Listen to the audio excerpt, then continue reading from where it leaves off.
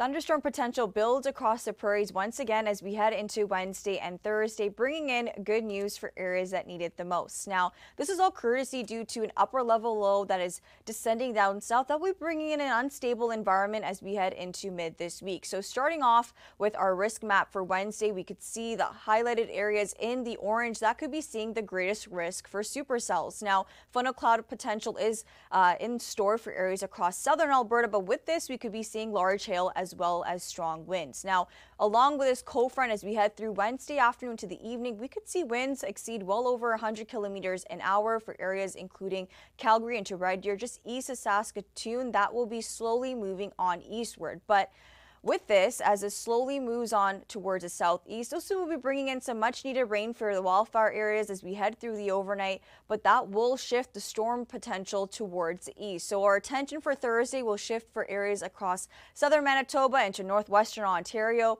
But with this, we will be seeing well over 30 to potentially 80 millimeters of rain for wildfire zones that need it the most.